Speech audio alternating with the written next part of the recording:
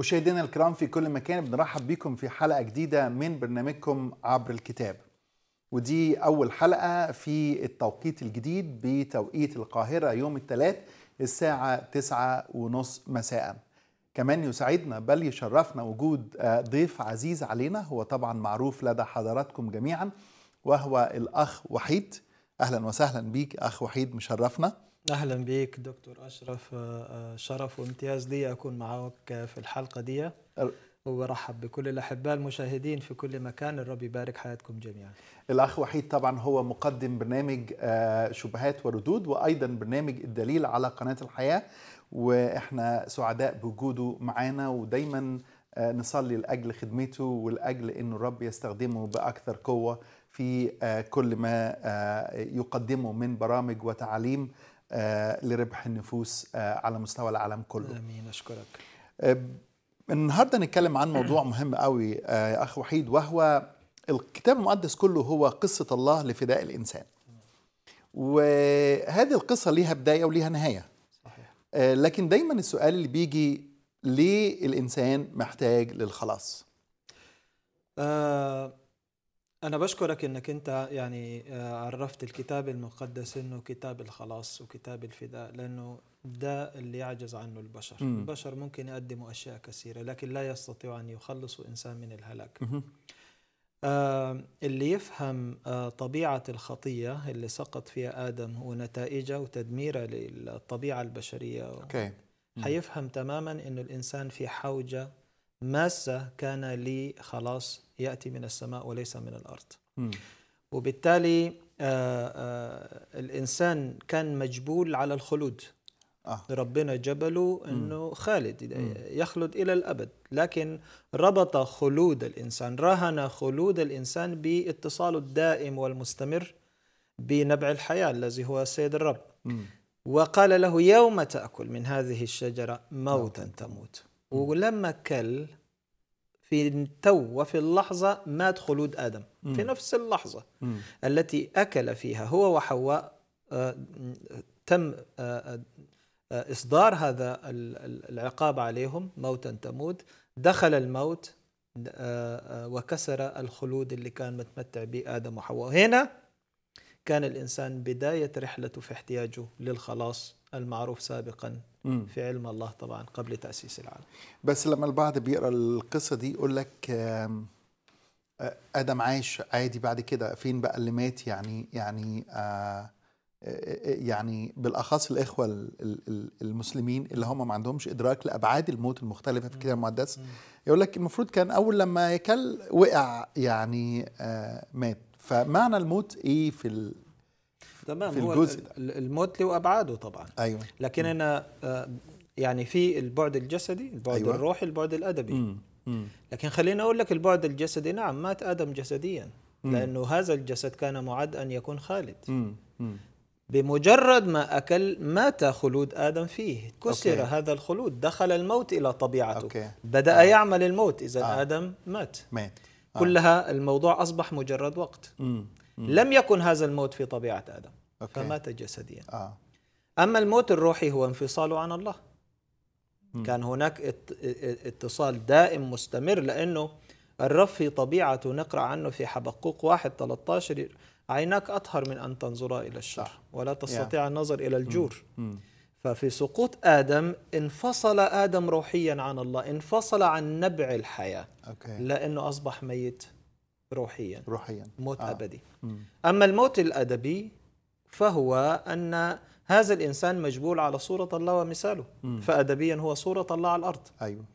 فحينما تمرد على خالقه وفقد فقد في التو أيضا سلطانه على الطبيعة والكائنات. أصبح جرثومة صغيرة لا أيوة. ترى تدخل في حياته وتؤثر بمرض وأشياء كثيرة. بالظبط فكما تمرد على خالقه اللي هو سلطانه تمردت الخليقة عليه. صح. الذي هو سلطان هذه الخليقة. صح. فأيضا هذا موت. أدبي إذا الموت له أبعاده طبعا. ربما يفهم منها الجسدي أكثر للأحباء غير المسيحيين آه. أن في التو واللحظة مات خلود آدم تماما. من موتا تموت. موتا تموت. بالتأكيد هتموت. تمام. يعني تمام. ملهاش مفر تاني أصل الله زي ما هو رحيم ورائع آه. وع- ومحب. هو مم. عادل. مم. وعدله لا بد أن يأخذ مجراه. الناس عايزة بس تشوف الله محبة. مم. لا لأنه محبة فهو عادل وصفات الله كاملة. وكامل في صفاته مكتف بذاته. مكتف بصفاته كامل في ذاته. ما فيش صفة بتكون أكثر بتغلب على الثانية بتغلب على الأخرى. بالظبط صح. طب لما نيجي لسفر التكوين بقى إحنا بنبدأ آم، يعني في البرنامج بتاعنا آه، سلسلة جديدة عن ناخد كل سفر ونتكلم فيه عن الله وعن الإنسان وعن الخلاص. تمام. لما نيجي لسفر التكوين آه، ماذا ترى من نصوص أو نبوات بتتكلم عن موضوع الخلاص في سفر التكوين؟ آه سفر التكوين بحيث إنه هو حيث إنه هو بداية الخليقة مم. آه دائما بسميها بكر النبوءات بكر عن النبوات آه. عن المسيح مم. مخلص العالم. وبالتأكيد في رموز أيضا في هذا السفر الرائع الجميل مم. سفر التكوين يمكن من أكثر الأسفار اللي أنا قريتها في حياتي. يعني مهم. آه لكن يبقى آه أمامنا آه نبوءات واضحة جدا على سبيل المثال ممكن إحنا نشوف مم. بمجرد آه، سقوط آه، الإنسان الأول وجاء أيوة. السيد الرب بيتكلم مع آدم آه، وحواء وتكلم مع الشيطان مم.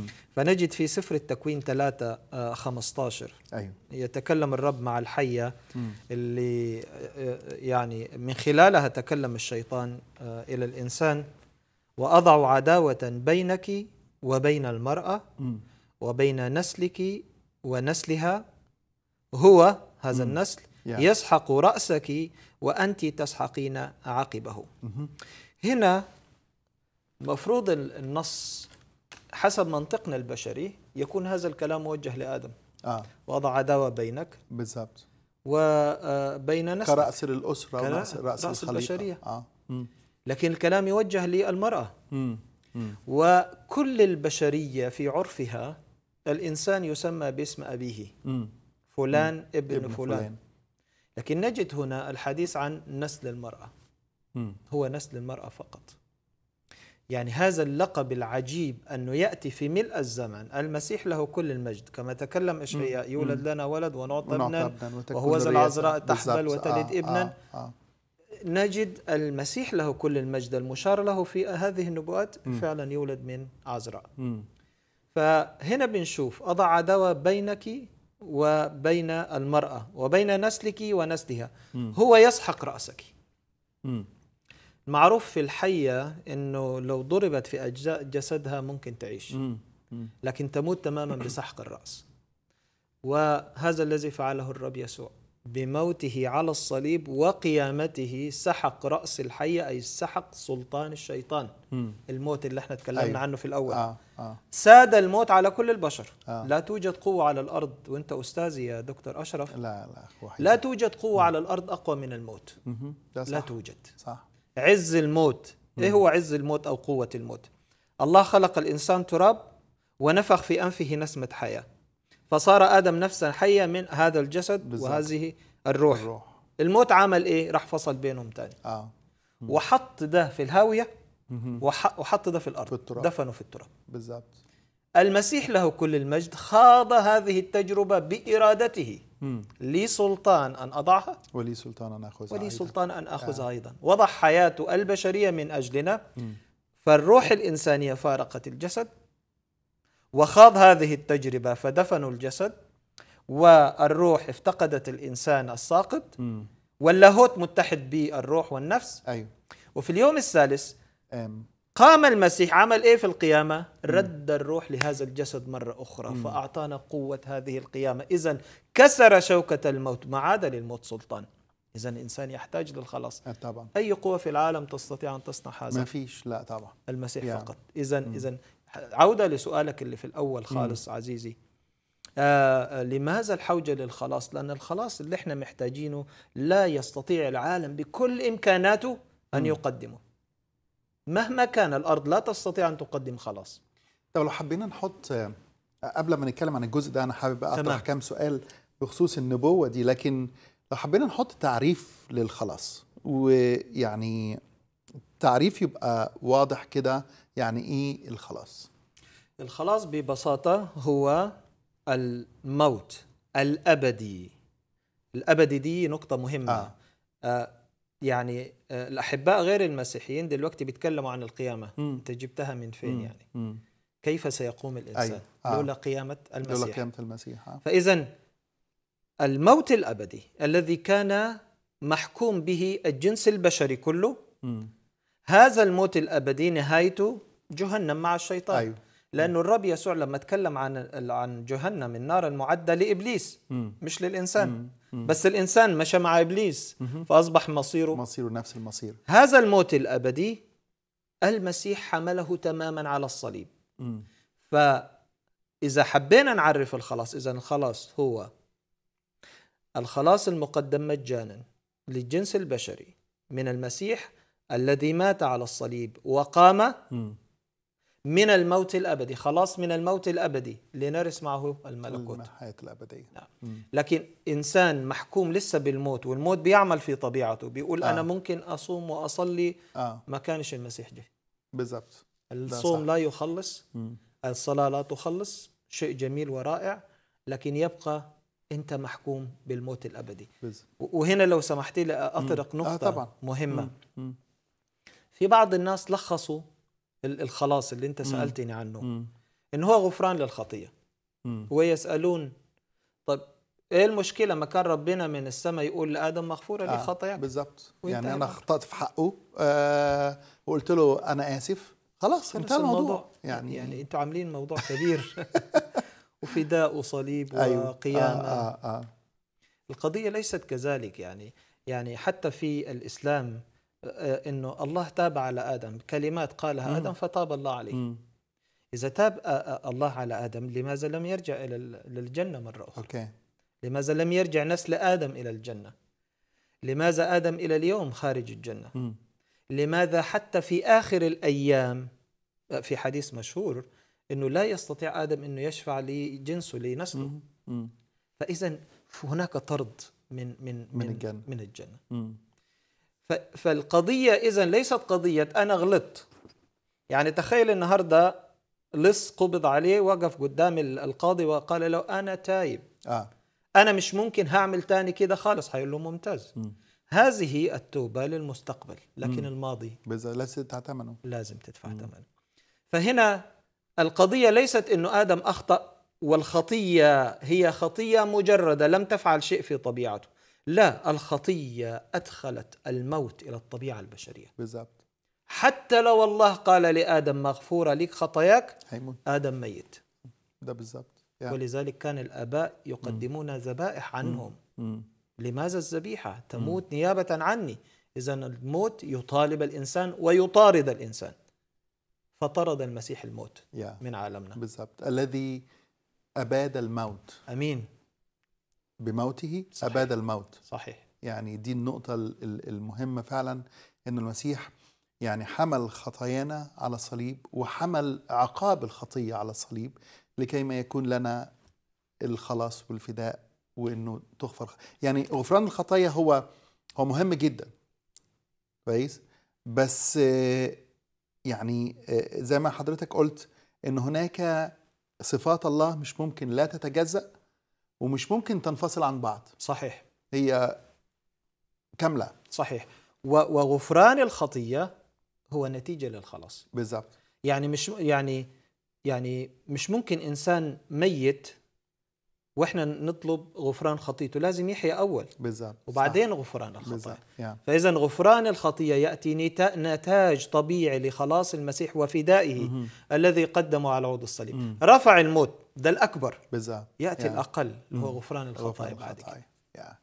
النص اللي حضرتك قريته أخ وحيد اللي هو أضع عداوة بينك وبين المرأة بين نسلك ونسلها هو يسحق رأسك وأنت تسحقين عاقبه وكأنه النص ده بي يعني زي ما حضرتك قلت إنه بيخرج آدم بره تمام خرجه بره الصورة. وهنا بياخدني إلى حقيقة آه، عرفناها لما تنبأ عنها أشعياء. ولما تحققت في ميلاد الرب يسوع من العذراء. وهو أهمية الميلاد العذراوي. يعني يعني ليه المسيح ما جاش من نسل آدم؟ يعني يعني ليه أتى من نسل آه، آه، آه، يعني من نسل المرأة؟ هو حينما نسأل هذا السؤال للأحباء غير المسيحيين يقولون هذه مم. مم. لكن يبقى السؤال معجزة لإيه؟ بالظبط ما هي أي معجزة لها هدف مم. من حيث إنها معجزة نعم معجزة كبيرة جدا إنه الشيء الطبيعي أن الرجل والمرأة بينجبوا ال- ال- أولاد. الأولاد مم. لا و ونتائج الخطية لأنه بعض مرات بنستخدم بعض التعبيرات اللاهوتية ربما تصل مم. خطأ إنه الخطية الجدية يعني مم. نقصد بها نتائج الخطية. الجدية مهم. فنتائج الخطية الجدية الموت مم. الذي تسرب إلى كل الجنس البشري طفل عمره يوم بيموت مهم. ما عملش ولا حاجة بالظبط في في هذا ال- ال- الزواج بينتشر أو بيتسرب الموت إلى كل النسل البشري رجل وامرأة في المسيح له كل المجد كسر هذا القانون. لا يوجد رجل مع العذراء. فالمسيح ليس هو آه، آه، نتاج زواج طبيعي بين رجل وامرأة وتتسرب آه، إلى طبيعته اذا الخطية مم. حاشا لي وتبارك. اسمه. لذلك المسيح هو كلمة الله الأزلي اللي حل في أحشاء العذراء. واتحد ببذرة حياة يا في أحشاء العذراء. وبالتالي قانون توريث الخطية إنه بين رجل وامرأة. كسر. في شخص المسيح إذا لما تيجي تقول لي هي معجزة لا مش بس معجزة ده ليها هدف في رسالة المسيح إيه رسالته. بقى هو الذي بلا خطية لم تتسرب له خطية آدم وحواء. ما هو ما ينفعش اللي يخلصني يكون هو محتاج إنه يتخلص. تمام. يعني زي ما إحنا عندنا المثل ال- ال- العربي إيه، إنه آه، آه، جبتك يا عبد المعين تعني. ليتك يا عبد لقيتك يا عبد المعين. محتاج. طبعا عايز تتعلم. عايز يتعان فال فالمخلص لابد إن يكون قادر على الخلاص بلا دينونة وبلا أيضا عقاب ما فيهوش خطية في حياته. عشان كده لما يكلمني هنا النبوة دي آدم دايما ينجب أولاد على شكله وعلى صورته. صحيح. أما المسيح فليس على شكل آدم وصورته. تمام. فهو آدم الأخير. آدم الأخير. مختلف عن صحيح. آدم الأول. صحيح. وزي ما الخطية دخلت بآدم الأول بآدم الأخير جه خلصنا وجه فتقنا في الرب يسوع. آمين. مم. لأنه في آدم الأول إحنا إحنا خسرنا الخلود. مم. وفي آدم الأخير المسيح له كل المجد نستعيد هذا الخلود مرة بالضبط. أخرى بس روعة هذا الخلود ليس في جنة مم. وليس في أرض وإنما في ملكوته في السماوات نحيا معه إلى الأبد هذا بالضبط. هو الامتياز وهذه هي المكافأة التي ينتظرها كل أيوة. مسيحي صح والمسيحي لا ينتظر مكافأة أقل من الله. يعني لو سألتك هتقول لي رايح السماء أقول لك آه تقول لي السماء ما فيهاش ربنا أقول لك مش عاوزها. بالظبط. يا عم ده مكان مريح وما آه، فيهوش آه. تعب ولا ألم ولا ولا في حريات وفي مثلا لا مش عايزه مكافأتي هي الله وليس أقل منه. مم. حتى لو قلت لي مجمع القديسين في السماء رائع لكن ما يكفينيش. مم. زي ما قال المرنم من لي سواك في السماء ما- آه، لي- آه، من من لي م- معك في السماء ومعك لا اريد ومعك شيء لا أريد شيئا. صح. فيعني آه، معك لا أريد شيء. معك لا أريد. أنا مش كل اللي أنا عايزه هو شخصك. صحيح. يعني حتى بولس لما لما اتكلم عن انطلاق وقال لي إشتهى أن أنطلق وأكون مع صحيح. المسيح. ده مش ده هكون في الغايه السماء. مش هكون في السماء صحيح. أكون مع المسيح. تمام. ده الغاية العظمى والغاية ذاك أفضل. الأسمى. ذاك أفضل جدا. آه، في في حاجات تاني في سفر التكوين ربنا أعلنها بجانب النص ده أخ وحيد يعني آه، آه، أشياء نصوص تانية نبوات تانية آه، تمام. رموز تانية تمام في رمز مهم جدا إحنا مم. يعني برضه نحب نعدي عليه وهو برضه في نفس إطار الأصحاح الثالث آه لما آه آدم حب يحل هو وحواء الموضوع بأوراق التين آه يغطوا العري بتاعهم يغطوا العري آه. بتاعه مم. لأول مرة بيكتشف إنه إنه عاري مم. طب ما أنت عاري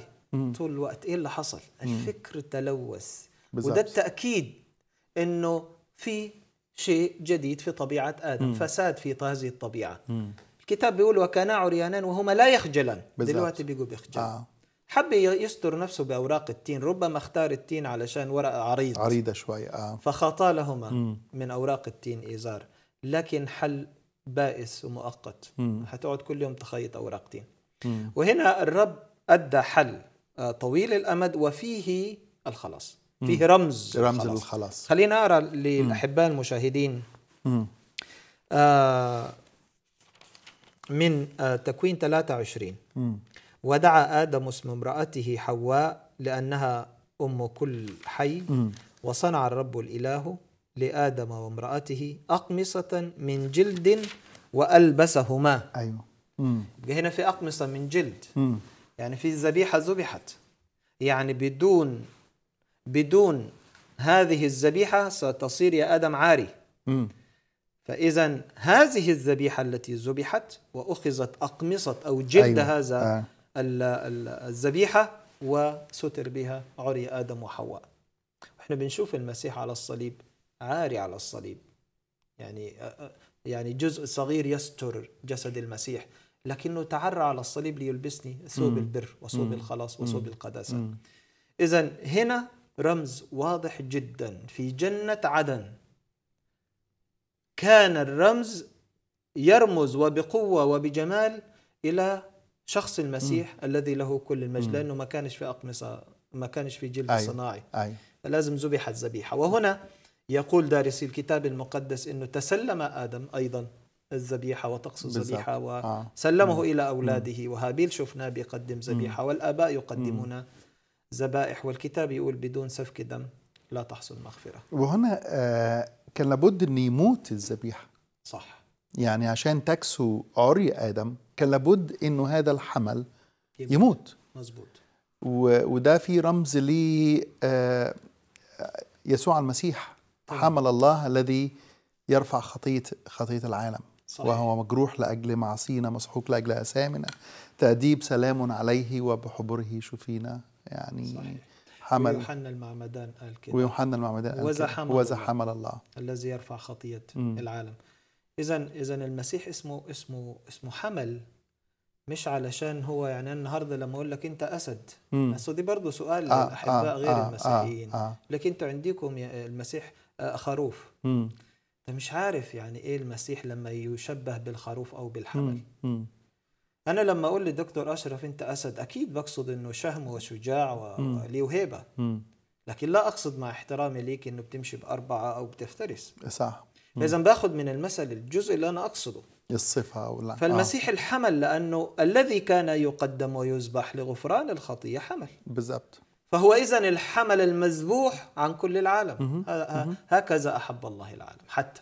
بذل بذل ابنه الوحيد. لكي لا يهلك كل من صح. يؤمن به بل تكون له الحياة الأبدية فإذا ده من ضمن الرموز الهامة في سفر التكوين يضاف إلى الجزء الأول اللي إحنا تكلمنا. عنه من شوية إنه آه. رمز واضح يا. جدا ل وهذا ليس كلامنا ولا كلام المسيحيين في آه، القرن آه. ده ولا آه. ده كلام كلام المسيحيين. من ال- ال- ال- القرن الأول بالظبط. ومن قبلهم يا. اليهود شافوا. ده. آه، رمز إلى الخلاص بالظبط وده بيأكد لنا على حقيقة مهمة قوي فكرة ال- أهمية الكفارة يمكن يمكن آه كلمة كفارة أو يكفر آه، ك ك ك كحقيقة مش موجودة عند الإخوة المسلمين صح؟ يعني يعني هو بالنسبة له لا هي الكفارات موجودة موجودة موجودة طبعا آه. وإحداها إحدى هذه الكفارات يمكن أن يعني يكون فيها آه، ذبائح لكن عنده كفارات أخرى طب وإيه إيه إيه أهميتها يعني؟ إذا كان بالنسبة له الغفران بيساوي إنه أنا غلطت أقول له حقك عليا وانتهى الموضوع يبقى إيه أهميتها يعني؟ ما هو ده السؤال اللي لازم الإنسان يقف عنده مم. ما معنى إن أنا أخطئ وأقدم كفارة عني الكفارة دي حصل لها إيه الكفارة آه، دي آه. يعني هي التي فصلت بيني وبين هذا الذنب. طيب يعني بتفهم دي ومش قادر تفهم إنه المسيح هو الكفاري العظيم مم. اللي فدى كل يعني المسيح لا نختزل آلامه في مسمار وحربة آه آه طبعا لا آه وجل مم. آلام أو آه، آه، رعب آه، الهاوية والجحيم صبت بتمامها على المسيح بالظبط. وهو على الصليب آه ده الألم الحقيقي مش الألم صحيح في آلام جسدية مم. الحربة والطعنة آه، مم. طعنها والمسامير يا. والشوكة يا. لكن الآلام الحقيقية هي الدينونة بتمامها صبت على علي المسيح وهو على. الصليب بالظبط فاللي حيقبل المسيح يرفع عنه هذه الدينونة لأنه حملها مم.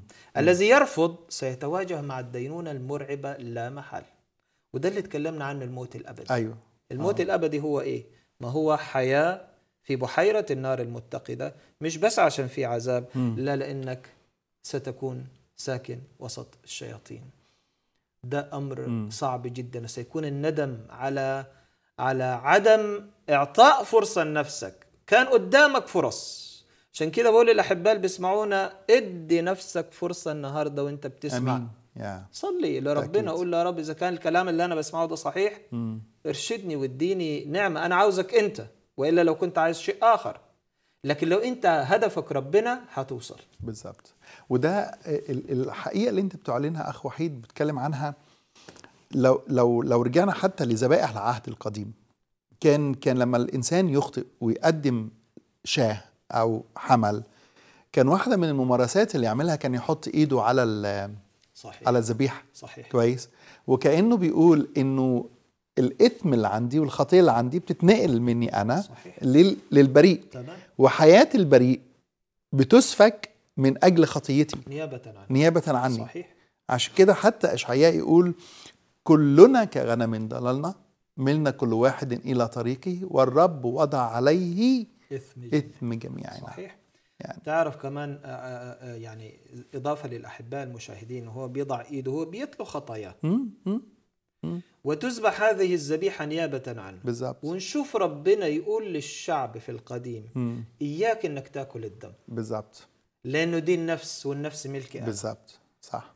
سفكت نفس من أجل. من أجل. اذا هذه النفس تسفك من أجل نفس. صحيح هي لا تعادلها. يعادلها إنسان. بالظبط. ولذلك كان الكفاري إنسان. لأنها كانت رمز. كانت رمز. مجرد رمز. آه. تعطي عربون كفارة إلى أن يأتي المخلص آه. العظيم. بالظبط جميل.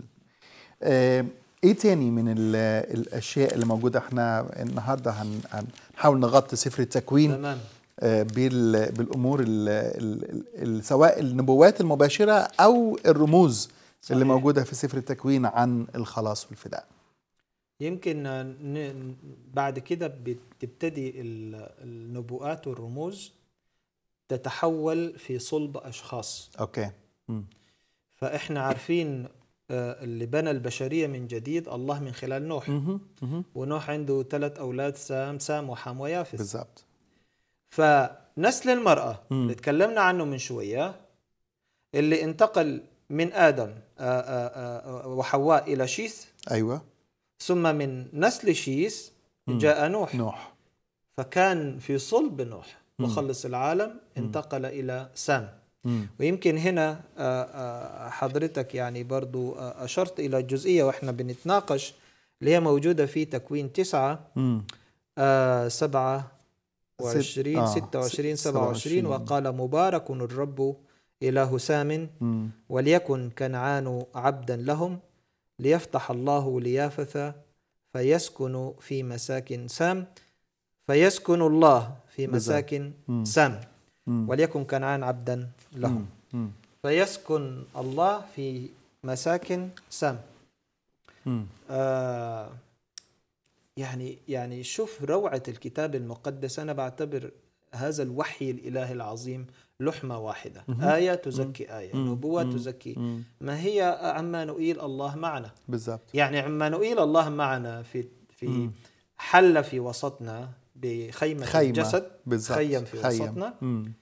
هي عمانوئيل اللي سار مع الشعب في البرية مم. هو عمانوئيل اللي ساكن في مساكن آه. سام مم. مم. ده, ده, ده البعد النبوي للكلام ده مم. إنه الله حال في مساكن سام يعني في صلب سام في هذه العائلة في هذه القبيلة مم. آه آه المسيح مخلص العالم أو نسل المرأة الذي أيوه. سيسحق أيوه. آه. رأس بالظبط الحية يا يعني وكأنه يعني ربنا بيبدأ ينفذ الخطة. تمام. يعني نسل المرأة نسل المرأة. أي نعم هي بتشير إلى نسل وليس أنسال زي ما. قال عنها آه. بولس آه، الرسول. لكنه نسل المرأة. ومن نسل المرأة زي ما حضرتك قلت إنه فيما بعد أتى نوح من شيث وأولاد نوح الثلاثة المخلص مش هيجي من الثلاثة تمام. المخلص هيجي من واحد. صحيح. فاختار الله سام. ليسكن في خيام سام. وإن يأتي منه ال- المسيا آه، دي نبوة يعني جميلة وحلوة. إيه تاني يا أخ وحيد؟ طبعا سام يعتبر هو الجد ال- آه. ال- الكبير لإبراهيم. لإبراهيم بالظبط. هنا بقى تتبلور الأمور بشكل أروع وأوضح. مم. لأنه ربنا لما قال لإبراهيم خذ ابنك حبيبك وحيدك إسحاق الذي تكوين 22 تكوين آه. 22 وقدموا لي محرقة على أحد الجبال وكلنا عارفين الموضوع وراح إبراهيم وحط ابنه وأراد أن يقدمه ذبيحة أيوة. فعلا. مم. هنا الواحد يعني بصراحة يعني إبراهيم شفته أنا تشفع لسدوم وعمورة لكن ما شفته تشفع لابنه. قام صباحا وشقق حطبا. ماشي يقدم لربنا يعني. بس كان في رسالة من ربنا هنا رسالة واضحة جدا. مم. مش ابنك يا إبراهيم مم. اللي ينفع. أيوه لكن ابني أنا في ملء الزمن أيوه yeah. وأنا لست مثل الآلهة التي تقبل ذبائح. بشرية. ده كان المنطقة كلها كلها. كانت بتقبل ذبايح آه، صح فدي يا. رسالة من. ربنا واضحة جدا مم. مم. وأخذ ابنه رجع بحي لكن في هذا الحدث مم. إبراهيم أخذ أروع وعد مم. في حياة إبراهيم كلها أيوه. خلينا مم. نقرأ تكوين في- 22 تكوين 22 أيوه خلينا أقرأ من 15 اتفضل ونادى ملاك الرب إبراهيم ثانية من السماء وقال بذات أقسمت يقول الرب أني من أجل أنك فعلت هذا الأمر ولم تمسك ابنك وحيدك أباركك مباركة وأكثر نسلك تكثيرا كنجوم السماء وكالرمل الذي على شاطئ البحر ويرث نسلك باب أعدائه إلى هنا. إيه، بركات ممكن تلاقيها آه. ربنا يديها الناس. تاني. لكن اللي جاي. ويتبارك في في, نسلك. جميع أمم الأرض من أجل أنك سمعت لقولي. ده أمر آه يعني جلل مم. زي ما بيقول ده أمر كبير جدا في نسلك زي ما. تفضلت حضرتك في العبري مش ال- الأنسال أحفادك بالظبط واحد آه واحد آه. وتناول ده بولس الرسول في في غلاطيا غلاطيا ثلاثة. صح. في نسلك الذي هو المسيح, المسيح في نسلك تتبارك جميع أمم الأرض تخيل إبراهيم بيسمع الكلام ده. مم. أنا في نسلي كل أمم الأرض حتتبارك مم. حضرتك مش يهودي ولا أنا يهودي بس بنقول أبونا إبراهيم. أيوه بالظبط. ولا أنت من سام ولا أنا من سام. يا. يا لكن بنقول أبونا إبراهيم. فصارت بركة الله لإبراهيم لكل الأمم في المسيح. أيوه. مم. فهنا بنشوف إنه ويتبارك في نسلك جميع أمم الأرض. حب إبراهيم انه هو يشوف مين نسله ده. وشاف وكتمت الرؤيا في العهد القديم. بس الرب يسوع في العهد الجديد شفناه في في يوحنا 8 بيقول لليهود أبوكم إبراهيم تهلل. تهلل بأن يرى بالظبط. يومي فرأى. رأى وفرح. وفرح. فقالوا له ليس لك خمسون سنة بعد فرأيت إبراهيم؟ يا. فكسر الزمن وإحنا عارفين قبل أن يكون إبراهيم أنا أنا كائن. أنا كائن. فهنا دي نبوءة واضحة جدا عن المسيح. مم. انتقلت من إبراهيم إلى إسحاق إلى يعقوب إلى يهوذا يمكن زي ما هنشوف بعد شوي. طيب جميل قوي بس هنا هنا الجزء ده آه، في آه، بعض آه، التساؤلات وبالأخص من الإخوة الغير مسيحيين. هم بيرفضوا فكرة إنه يكون إسحاق. هم بياخدوا فكرة إنه يكون إسماعيل. فازاي نقدر إنه آه، نرد على هذه المعضلة لا الموضوع رده بسيط جدا اولا آه يعني أنا أعتقد حضرتك تقصد الاحباء المسلمين أيوه آه آه اولا لو رحنا لليهود مم. سألناهم مم. من الذي قدم. آه اليهود بدون آه واحد فيهم ما يختلف مم. اطلاقا مم. حيقولوا إسحاق أيوه. لو رحنا للمسيحيين من الذي قدم إسحاق أم إسماعيل مم. بدون اختلاف واحد فيهم إسحاق طيب نأتي للأحباء المسلمين من الذي قدم هنا اختلاف. فتجد سبعة من الصحابة الكبار بيقولوا إسحاق مهم. وهناك أحاديث صحيحة تشير. إسحاق مم. وحتى ابن خلدون في مقدمته يشير إلى إسحاق مم. الذي قدم. طيب أنتوا أصلا مش متفقين يعني يعني بأي قياس منطقي لو قلنا آه المس اليهود والمسيحيين وجزء من المسلمين. أيوه. يبقى إسحاق هو يا. بلا شك. يا مم. فاذا آه آه يعني حتى في المراجع الإسلامية هناك اختلاف على هل هو إسحاق ولا هو إسماعيل. لا فيها تجد كثير من الأشياء الموثقة أنه إسحاق. يبقى الجزء هو عندي سؤال وأنا بعتبره سؤال آه جيد. مم. أيوه. لأن هنا الكلام يقول ابنك وحيدك. وحيدك. مم. طب ومال مم. إسماعيل إزاي ابنك مم. وحيدك مم. حبيبك آه الذي تحبه. اذا البعض أنا سمعت بعض الأحباء الشيوخ يقول لك أقحمت هذه الكلمة وحيدك مم. وإن لم تقحم آه، آه، فأقحم اسم إسحاق لا آه. الموضوع بسيط جدا مم. وحيدك لم تذكر ولا مرة قبل الإصحاح 22 أيوه ولا عن مرة إسماعيل لا خالص مم. ذكرت عن عن إسحاق فقط في إصحاح 28 مم. ليه؟ مم. لأنه في إصحاح 21 رحلت هاجر ورحل إسماعيل وليس في حضن إبراهيم إلا, إلا ابن واحد بس. وحيد فقط مم. هو إسحاق مم. فالرب قال له خذ هذا الابن الوحيد الذي في حضنك إسحاق الذي تحبه مم. واذهب قدمه لي محرق مم. مم. لو كان ابنك وحيدك وردت قبل أصحاح 21 كان يمكن للسؤال بالضبط. له قوه آه آه لا آه. أنت لازم تلاحظ يا. سياق الوحي الإلهي ده مم. مهم جدا الوحي الإلهي رائع ودقيق للي بيتتبعه يا. بصوره جيدة عجبني آه، علماء اليهود حطوها بطريقة حوارية بين إبراهيم وبين الله مم.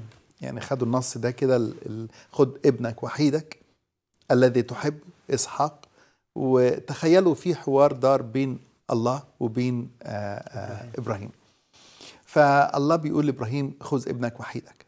فإبراهيم بيرد عليه خد آه بيقول له خد ابنك آه أول حاجة بيقول له خد ابنك. فإبراهيم بيرد عليه بيقول له أنهي واحد يا رب؟ أنا عندي ابن من هاجر وعندي ابن من سارة.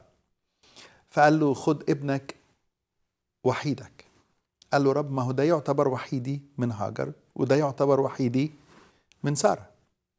فرب قال له خد ابنك وحيدك الذي تحبه. فقال أنا كأب بحب الاثنين. يعني يمكن بحب آه، ابن هاجر آه، يعني آه، برضو بحبه حتى لو هو. من ابن هاجر بس بحبه ابني. وبحب كمان إسحاق. إسحاق. فربنا قفل عليه الباب. قال له خد ابنك وحيدك الذي تحبه إسحاق. الذي هو إسحاق. إسحاق. تمام. فكأن ربنا قفلها. من ال يعني ال- ال- النص نفسه. حتى علماء اليهود تخيلوا هذا الحوار. فقالوا ربنا قفل الموضوع ده بمجرد إنه ذكر اسم إسحاق. صحيح. يعني آه لو إسحاق ابن المواعيد بالظبط بالظبط. يعني طبعا إحنا ده كله آه. دي حاجات تانية بنحطها. إسحاق المواعيد. ابن المواعيد هو آه، ابن الحرة. صحيح. وليس ابن الجارية. صحيح. آه إلى آخر ال- الأمور ال- ال- ال- الجميلة اللي علمها لنا الكتاب المقدس في العهد الجديد. لا وبعدين عارف لو لو اتاخد اسم إسحاق وحط اسم إسماعيل الكتاب المقدس كله هيكون فيه خلل. بالظبط خلل بالظبط. كبير جدا. صح. ولو أقحم اسم إسحاق إقحاما لما كان هناك بعد ال- الجزء ده أي جزء حي أيوه. حيسنده بالظبط لا بالظبط. ده أنت إسحاق هو أبو أبو يعقوب. هو أبو الأسباط بالظبط هو أبو يهوذا. اللي أنا حابب برضه أتكلم يا- عن النبوءة يا- الرائعة يا أنت عندك سلسلة ال- الخيط الذهبي مستمرة كده في سلسلة نسب الرب يسوع تمام إبراهيم يعني لما خد إبراهيم وبعدين إسحاق ويعقوب ونزل من هذه السلسلة. اول ذا واي لحد المسيح. اذا اذا اذا أنت آه، آه، الوحي الإلهي لو أقحم إسحاق هنا مش ممكن حيصير في تسلسل آه، قوي بالشكل ده لحد سفر الرؤيا. آه لو أقحم إسماعيل لو حط إسماعيل بدل لو اسحاق حط إسحاق. كمان. لو إسحاق ده مش موجود, وإحنا اللي صح، حاطيناه بالظبط. هيكون في خلل برضه في الكتاب آه المقدس. آه آه. لا لكن- كل الكتاب المقدس منسجم إنه لازم اسحاق ليه لأنه هو أبو يعقوب هو بالظبط. ابو الأسباط هو أبو يهوذا الذي منه المسيح بالظبط. رقم واحد رقم اثنين هو فين إسماعيل وأولاده ونسله ما عاشوا وثنيين مم، مم. كيف من صح. هذا الجزء يأتي. الوثني يأتي المسيح مخلص صح. العالم أو يكون صح. في وعد لإبراهيم لا. الوعد جاء من آه، آه، من إسحاق. إسحاق اللي فيه سلسلة الوحي بالظبط. الوحي استمر في هذا آه. ال ال ال في هذه العائلة. جميل. حلو قوي. آه طب هنا بنجد في سفر ال- التكوين وإصحاح 22 فكرة عن ال- ال- البديل الكفارة إنه آه الكبش نعم. المحرقة.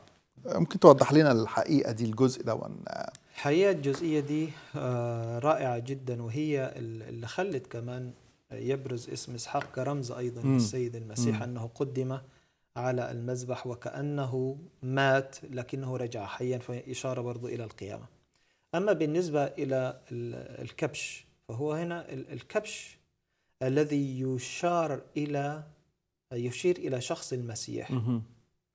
هو الذي يفدي إسحاق أيضا أوكي يا يعني الذي كان مخول له أن يكون آه، هو الذبيح. لدى أنت في ذبيح العظيم بقى آه، شخص المسيح هو اللي يذبح نيابة مم. عنك مم. وهنا لا أنسى وإحنا بنعمل مقارنات ومفارقات أنه ذكر هذا الأمر في القرآن وعن هذا الكبش بأنه آه، آه، ذبح عظيم آه ذبح النعام. أوكي آه. ذبح مم. عظيم ليه عظيم؟ مم. ليه يعني انت جيت عند ده وقلت عظيم ما, ما, مم. ما كثير من الآباء ذبحوا ليه ده يبقى عظيم أيوه فهنا الكبش اذا في فكرة النيابية والكفارة واضحة جدا إنه هذا بديل لهذا. وهذا الكبش هو إشارة ورمز واضح جدا إلى المسيح مخلص مم. العالم. النيابية فكرة النيابية بالضبط. عقيدة النيابية موجودة. مهمة قوي عقيدة النيابية دي. تمام. لأنه مش موجودة عند ال... ال... الإخوة المسلمين.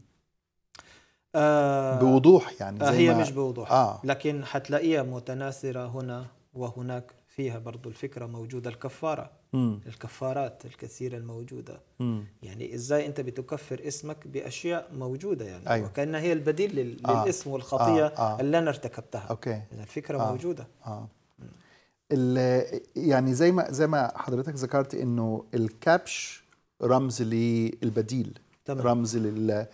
للسيد المسيح اللي ياخد مكاننا وينوب عنا تمام لكن كمان إسحاق في حياته رمز.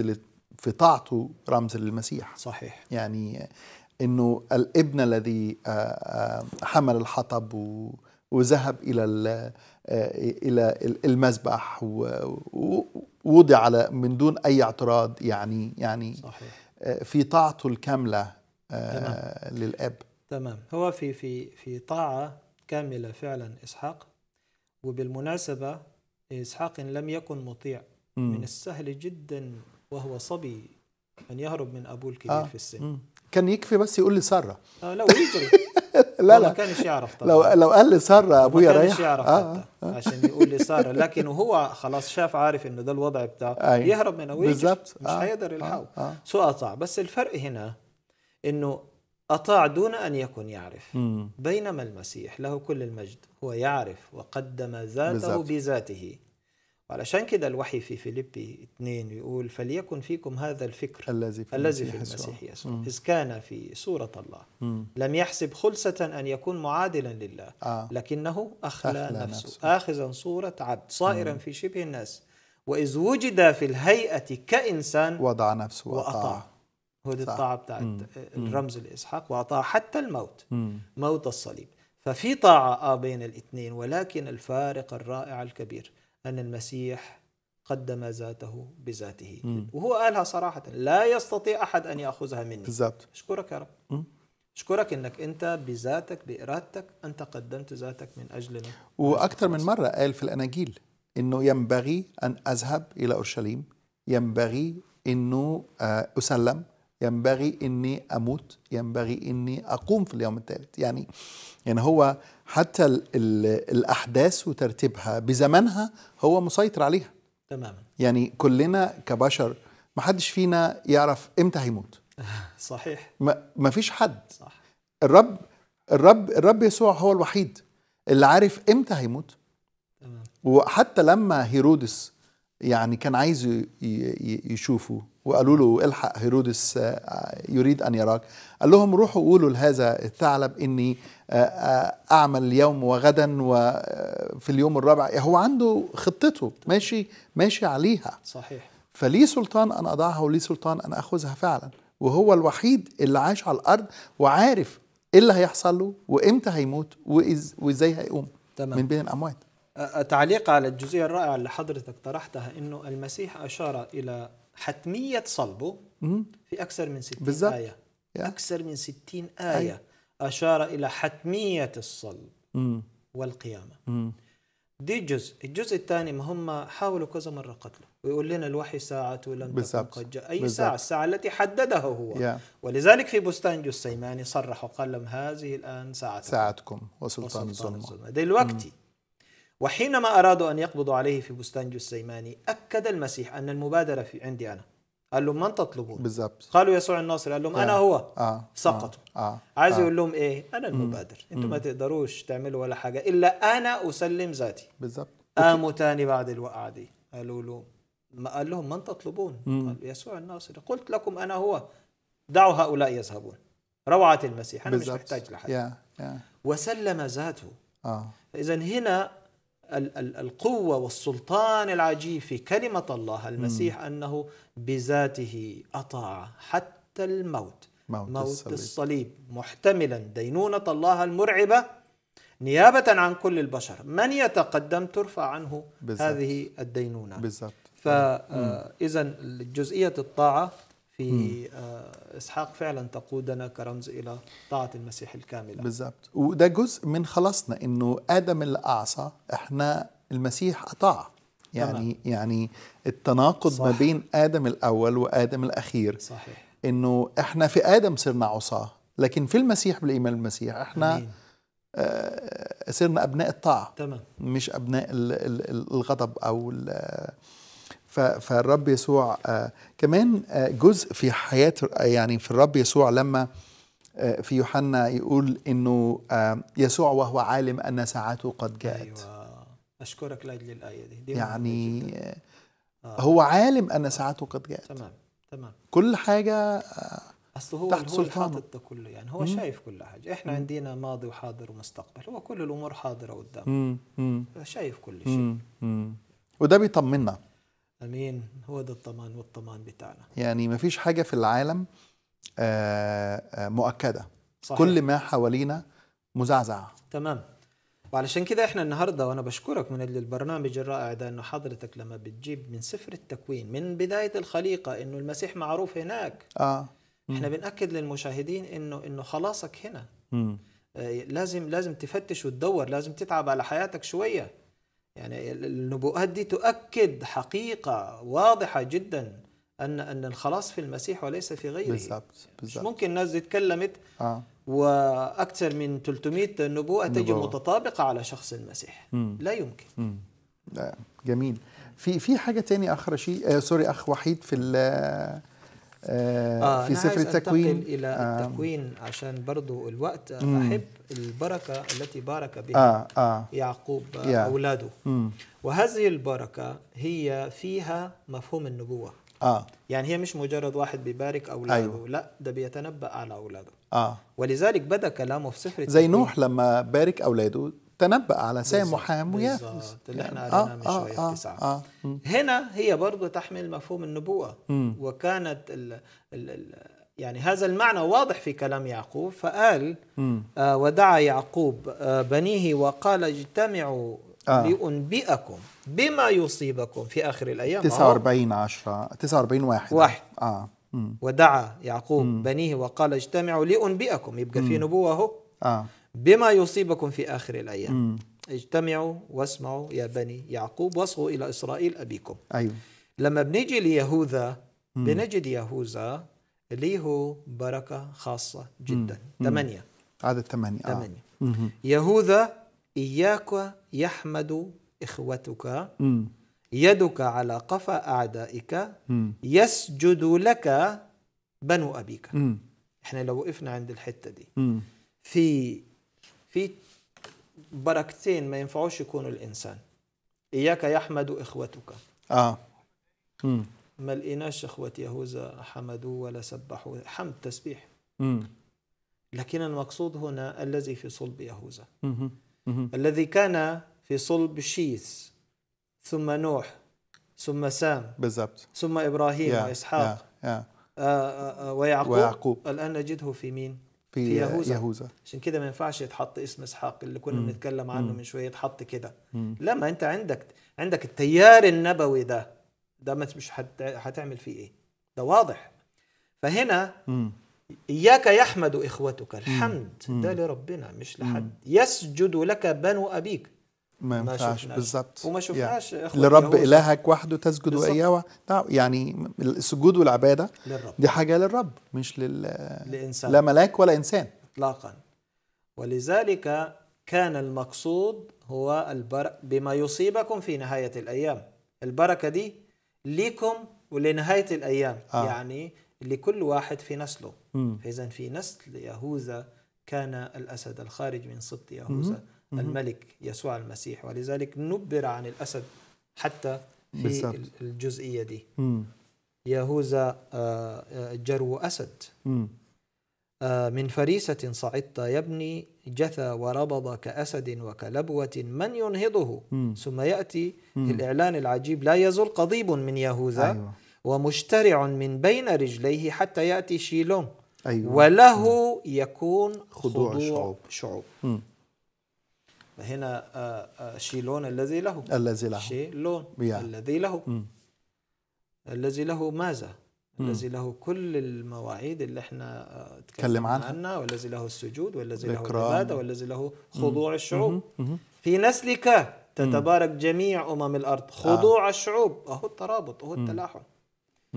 وجلال المسيح وهيبته أن الشعوب لم تخضع له لا بعصا بالظبط ولا برمح ولا بسيف ولا بسيف ولكن بالحب الذي هو أقوى قوة آه، آه، آه، إيجابية في العالم آه، إن آه. كان الموت هو قوة سلبية آه. آه. المسيح تربع ملكا وبكل سرور وحب الناس تتوج المسيح ملك على قلوبها وتسيد وترببه على حياته خضوع الشعوب خضعت أيوة. يا. للأسد الخارج من سبط يهوذا يقول لا يزول قضيب أيوة الاحتلال طبعا. لا يزول قضيب من يهوذا ولا مشترع من بين يعني رجليه. كل المحاولات البشرية آه. لإزالة يهوذا. آه. فشلت. فشلت. لا يزول قضيب. مم. القضيب إشارة إلى السلطان السلطان. يعني. يا. آه، حتى يأتي آه، شيلو. وعشان كده حتى لما ندرس تاريخ العهد القديم مم. نعرف إنه الأسباط العشرة اللي كانوا في مملكة الشمال فوق إسرائيل. ضاعوا. يعني حتى بنسميهم the lost 10 tribes of uh, Israel يعني. العشر أسباط الضائعين. ما تقدرش إن أنت تعرف آه، حتى ال- السلاسل النسب بتاعتهم صحيح. ضاعت. ما يعرفش يقول لك أنا من سبط مين. بالظبط. وبعد آه،. آه، بعد قيامة المسيح. بحوالي 40 سنة في سنة 70 ميلادية ضاع يهوذا تمام. صحيح. يهوذا ضاع. في الس... لما دم... دمرت أورشليم سنة 70 يهوذا تشتت صحيح. ضاع صحيح وضاعت كل ال... السلاسل الأنساب السلاسل الأنساب. يبقى لابد. يبقى لابد ان المسيح أتى. يكون أتى إمتى خلاص قبل قبل قبل سنة 70. 70 صح صح وفي حتة كمان حلوة في الحتة دي إنه لما رجعوا من السبي وبنوا الهيكل آه وكان في شيوخ شافوا الهيكل الأول بقى. أيوه باكو صح فالرب قال لهم سيكون مجد هذا البيت الأخير. أعظم. أعظم من مجد البيت الأول. مم. م- أنتوا شايفين شكله لا ذهب ولا فضة ولا زي الأولاني. طب إيه إيه مجده؟ بالظبط. إنه المسيح دخل فيه. مم. ودلوقتي لا يوجد هيكل. فحتى لو بني هيكل فيما بعد لن يكون مجده مجد الأول لأنه المسيح قد أتى. بالظبط. صح. فإذا في سنة 70 ميلادية تحقق كذا أمر. آه. الهيكل وفي نفس الوقت تشتت سبط يهوذا. والآن من الصعب أنه ي- يعني شخص يعرف بسهولة يقول لك أنا من سبط كذا. آه صعب. لكن قبل السبي كان في وبعد السبي ما ظلش إلا يهوذا, يهوذا. يعرف بالظبط السجلات آه. بتاعته تمام وعلى فكرة دي دي ده جزء آه، يعني أنا أعرف ناس آه، يهود قب- قبلوا الرب يسوع بناء على هذه الحقيقة التاريخية. رائع. أقول لك مش ممكن ابدا تكون السجلات آه، أمينة إلا قبل سنة 70 فبالتالي لابد إن المسيح يكون أتى قبل سنة 70 تمام. طيب إحنا وقتنا قرب يخلص بس عندنا مداخلة. تفضل آه، ممكن ناخد الأخ بول من نيوجيرسي ألو؟ ألو. أيوه. اتفضل. فيني احكي مع الدكتور أشرف. أيوه اتفضل. أنا أنا بولس دكتور أشرف. أهلين أخ بولس إزيك؟ اشتقت لك كثير الرب يخليك اخ بولس كيفك؟ الحمد لله. دخلك امتين آه، برنامجك أنت مع يا- الشباب هدول آه، أنا عم بحضره نهار الثلاثاء آه من أهلا عاد. أهلا وسهلا بيك يا اخ بولس طيب ممكن تسيب تليفونك في الكنترول وأنا أكلمك آه، بالتأكيد بعد بعد البرنامج. بس لو عندك آه، تعليق على آه، حلقة النهارده يبقى شيء جميل جدا. هل أنا عندك سؤال أنا للأخ وحيد؟ يعني أنتم جوز عباكرة يعني شو شو بدي أحكي معكم؟ أنا الر- قدامكم. الرب يباركك يا أخ بولس. الله يا يخليكم. يا ريت تسيب تليفونك في ال control وهنتواصل معاك. OK. طيب إحنا وقتنا خلاص قرب آه، فاضل لنا ثلاث دقايق آه، لكن لو حبينا نلخص ال- آه، يعني اللي إحنا قلناه النهارده في رسالة واضحة مباشرة لكل المشاهدين يعني بداية النبوءات دي بتورينا إلى أي حد الله اهتم بالإنسان مم. وإنه يعرف شخص المسيح ويطمنه إنه في خلاص مم. مم. يعني حواء وآدم كانوا كانوا بشغوفين إنه يكون في هذا المخلص ويشوفوه أيوه أيوه آه. لذلك يمكن سمت آه. قايين سمت قايين اقتنيت رجلا أيوه فكر؟ أيوه يا لكن ال- الحقيقة إنه هذا هذا هذه العناية اللي الرب بعناية كذا راح موضح نبوءات واضحة مم. جدا مم. هو لطمأنة الإنسان ما مم. تخافش مم. صحيح دخل الموت لكن أنا مش حسيبه مم. في خلاص مم. والخلاص سيأتي من السماء ليس من الأرض من الأرض آه. وساب الله الإنسان كل الفترة دي مم. ليجرب أن يقدم من يقدر مهم. مهم. لأنه لو جاء الخلاص على طول من آدم وحواء كانوا يقولوا لربنا إحنا مش محتاجين إحنا كنا حنقدم واحد كويس بالظبط لا عيشوا وجربوا بقى مم. لا نحن محتاجين شريعة طب خذوا الشريعة آه، آه. الشريعة حتموتكم أيوه وظل الإنسان يحاول كل هو ده طبيعة الإنسان كل المحاولات إلى أن فشل مم. الكل زاغ وفسد مم. وعوزهم مجد الله, الله. بالظبط مجد الله آه وهنا مجد الله أعلن في شخص المسيح له مم. كل المجد وحل بيننا إذا هذه النبوات اللي إحنا تناولناها في نسل المرأة وفي أقمصة الجلد كرمز مهم. آه،. رائع جدا مم. وفي سام مم. آه ثم انتقلنا آه، آه، من سام إلى إبراهيم. مم. وفي نسلك تتبارك, تتبارك جميع أمم جميع الأرض القبائل. كانت آه، خلاص بالظبط. تبلورت آه. وابتدينا بقى نشوفها في أيوه. في نسل معين. أيوه. ثم بالظبط انتقلت إلى إسحاق فيعقوب. فيهوذا. فيهوذا نجدها مم.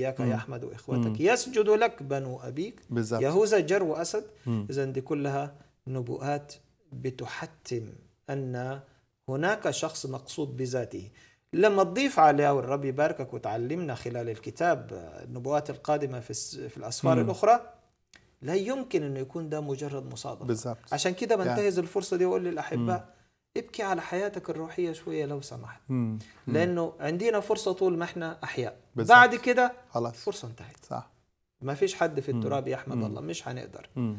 فلو سمحت فكر في الكلام اللي أنت سمعته وفكر في شخص المسيح المتميز جدا المتفرد في أمور كثيرة هيساعدك إنك أنت توصل لمعرفة الحق والحق يحررك آمين إحنا بنشكرك أخ وحيد كتير بجد وده. شرف كبير لينا إن أنت تكون. معانا في أول حلقة في التوقيت الجديد الرب يباركك ونصلي إن الرب دايما يباركك. ويبارك حياتك وخدمتك ويباركك. ويستخدمك من مجد إلى إلى مجد. مشاهدينا. الكرام نلتقي في حلقة جديدة من برنامجكم عبر الكتاب فإلى أن نلتقي سلام المسيح يكون معكم